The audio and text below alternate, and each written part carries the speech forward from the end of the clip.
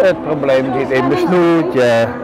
De nieuwe, eh, voor het zingen, de nieuwe lichting. 9 augustus 2015, we zijn bezig met de derde optreden. Music met de nieuwe lichting, Witte de Witstraat, Boendebaum.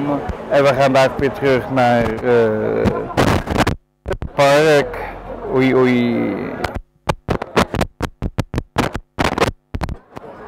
Ia, ia.